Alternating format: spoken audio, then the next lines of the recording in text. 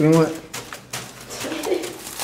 Ito ang aking kaibigan. Tara namatay na, feeling mo pa eh.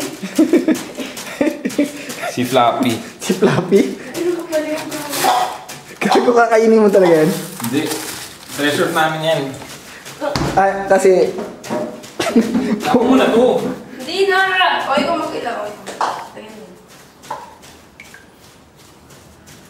Tapos pag maano, Napakakapit, Patrick.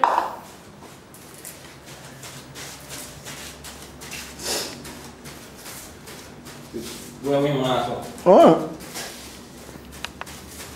Pwede na lang. Uy, gamot pa yun eh. Ang butas ng babo.